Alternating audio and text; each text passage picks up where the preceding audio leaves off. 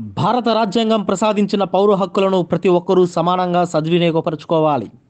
Vinjamuru tahsildar MVK Sudhakar Rao. భారత రాజ్యాంగం ప్రసాదించిన పౌర హక్కులను ప్రజలు అసమానతలకు తావివ్వని రీతిలో సోదర భావాలతో సమానంగా సద్వినియోగపరచుకోవాలని వింజమూరు తహసీల్దార్ ఎంవికే సుధాకర్ రావు పిలుపునిచ్చారు. సివిల్ రైట్స్లో భాగంగా శనివారం రాత్రి మండలంలోని రావిపాడు ఎస్సీ కాలనీలో పౌర హక్కులపై అవగాహన సదస్సును నిర్వహించారు.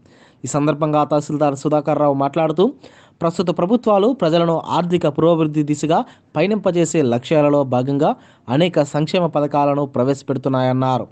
కుల మత వర్ణ వర్గ లింగ భేదాలు లేని రీతిలో ప్రజలందరూ కూడా ఆర్థిక అసమానతలను రూపమాపి స్వేచ్ఛ సమానత్వాలకు సరైన భాష్యం పలకాలన్నారు. అనంతరం కాలనీలో సమస్యల గురించి ప్రజలను అడిగి తెలుసుకున్నారు. ఈ కార్యక్రమంలో ఎంపీడీఓ కార్యాలయం సూపరింటెండెంట్ శేషసాయి సచివాలయాల సిబ్బంది వాలంటీర్లు పాల్గొన్నారు. ఒకటే ఎవరు కూడా ఎక్కువ తక్కువ అనేది ఉండదు.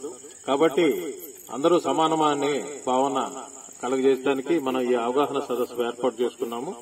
కాబట్టి మనం మానవులందరూ ఒకటే. మనకి ప్రభుత్వం కల్పించిన సౌకర్యాలన్నీ కూడా సమానంగా మనం పొందటానికి భారత రాజ్యాంగం మనకి హక్కు కల్పించింది. దాన్ని మీ అందరికి కూడా తెలియజేయడానికి ఇక్కడికి వచ్చున్నాము. మీరు ఏదన్నా వివక్ష గుర- గురవుతున్నా లేకపోతే మిమ్మల్ని ఎవరన్నా చిన్నచూపు చూస్తున్నా గానీ ఈ కమిటీ దృష్టికి తీసుకొస్తే వారందరినీ కూడా కౌన్సిలింగ్ ఇవ్వడం కూడా జరుగుతుంది. మానవులందరూ ఒకటేనని చెప్పి అందరికి కూడా తెలియజేస్తున్నాము. అదేవిధంగా ప్రభుత్వం అనేక సంక్షేమ కార్యక్రమాలని మనకి ఏర్పాటు చేస్తున్నది. అవి కూడా మన సూపరింటెండెంట్ గారు వాళ్ళు కూడా తెలియజేస్తున్నారు. అట్లాగే మన పిల్లలు చక్కగా ప్రభుత్వ పాఠశాలలో క్వాలిఫైడ్ టీచర్స్ ద్వారా మనం నాడు నేడు కార్యక్రమం ద్వారా కూడా మన స్కూళ్ళు కూడా చక్కగా అభివృద్ధి చేసుకోవడం జరిగింది. డెస్కులు అట్లాగే రంగులు వేసుకొని చక్కగా అభివృద్ధి చేసుకున్నాము.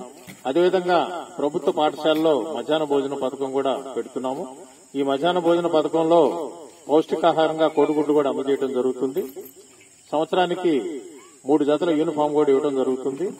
కార్పొరేట్ స్కూళ్ళకి తగ్గట్టుగా బూటు టై అవి కూడా మన పిల్లలకు అందరికి ఇస్తున్నారు. ప్రభుత్వ పాఠశాలలో ఒక రూపాయి ఖర్చు లేకుండా మీ పిల్లల్ని చదివించుకోవచ్చు. పాఠ్య పుస్తకాలు కూడా ఉచితంగా కూడా ఇస్తారు. అదేవిధంగా మీరు కాన్వెంట్కు పంపిస్తే పుస్తకాల దగ్గర నుంచి బెల్టు టై కూడా కొనుక్కోవాల్సిన పరిస్థితి వస్తుంది. అక్కడ చదువు చెప్పే వాళ్ళని ఒకసారి మీరు ఆలోచించండి. ఇంటర్మీడియట్ డిగ్రీ తప్పినోళ్ళు వాళ్ళు మీ పిల్లలకి బోధిస్తుంటారు. మన దగ్గర BSc BEd MA BEd qualified teachers పనిచేస్తున్నారు. కాబట్టి ప్రతి ఒక్కరు కూడా వాళ్ళ పిల్లల్ని ప్ర- పిల్లల్ని ప్రభుత్వ స్కూల్కు పంపించి చదివించుకుంటే ప్రభుత్వం కూడా ప్రభుత్వ పాఠశాలలో చదువుకున్న వాళ్ళకి ట్రిపుల్ ఐటీలో కూడా సీట్లు ఏర్పాటు చేశారు. కాబట్టి ఈ సౌకర్యాలన్నీ కూడా మనకి ప్రభుత్వ పాఠశాలలో చదువుకుంటే వస్తాయి.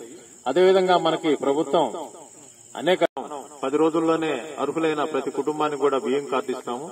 అట్లాగే నిరుపేదలైన ఇళ్ళు ఇళ్ళు లేని వాళ్ళకి ఇళ్ళ స్థలాలు అట్లాగే ప్రభుత్వ ద్వారా గృహం కూడా నిర్మించడం కూడా జరుగుతుంది. ఇవన్నీ కూడా మనం వాలంటీరు సచివాలయ వ్యవస్థ ద్వారా మనం ఏర్పాటు చేసుకోవాలి. అన్ని కూడా ఆన్లైన్ చేయడం జరుగుతుంది. పారదర్శకంగా ఉండడానికి ఆన్లైన్ వ్యవస్థ ఏర్పాటు చేసి ఉన్నారు అదేవిధంగా ప్రతి నెల ఒకటో తారీఖునే ఖచ్చితంగా మీ ఇంటికే పెన్షన్ కూడా పంపిణీ చేస్తున్నాము. కాబట్టి ఈ పథకాలన్నీ కూడా తెలుసుకొని మీరు వాటి ద్వారా లబ్ది పొంది మీ కుటుంబం ఉన్నత స్థితికి రావాలని చెప్పి ప్రభుత్వ ఉద్దేశం. కాబట్టి ఈ ప్రభుత్వ పథకాల కోసం అట్లాగే మనకున్న హక్కుల కోసం ఈ రోజున మనం ఈ గ్రామ సభ ఏర్పాటు చేసుకున్నాం కాబట్టి దీనికి ఇక ముందు కూడా ఎక్కువ మంది వస్తే ప్రభుత్వ పథకాలు తర్వాత మీకున్న సంక్షేమ కార్యక్రమాలన్నీ కూడా తెలియజేయడం జరుగుతుంది. కాబట్టి పౌర హక్కుల గురించి మీ అందరూ కూడా తెలుసుకోండి. ప్రతి ఒక్కరు కూడా ఈ సమాజంలో అందరూ ఒకటే. హెచ్చు తగ్గులు అనేది లేవు. ఎవరైనా మనల్ని చిన్నచూపు చూస్తే అవి మా కమిటీ దృష్టికి తీసుకురండి. అట్లాగే ఇదివరలో అంటరానితనం అస్పృశ్యత ఉండేది. వాటిని పూర్తిగా పారుదలున్నాము. ఇంకా ఎక్కడన్నా ఏదన్నా ఉన్నా గానీ తెలియజేస్తే వాటిని కూడా పరిశీలించి అట్లా వివక్షకి గురి చేస్తున్న వాళ్ళ మీద కఠినమైన చర్యలు కూడా తీసుకోవడం కూడా జరుగుతుందని అందరికి కూడా తెలియజేస్తున్నాము. తర్వాత ఈ కార్యక్రమం తర్వాత మీ ఏమైనా సమస్యలు ఉంటే అవి కూడా నమోదు చేసుకొని సంబంధిత అధికారుల ద్వారా వాటిని కూడా పరిష్కారం చేయడం కూడా జరుగుతుందని చెప్పి అందరికి కూడా తెలియజేస్తున్నాను. మన ఎంపీడీ ఆఫీస్ సూపరింటెండెంట్ గారిని మాట్లాడవలసిందిగా కోరుతున్నాను.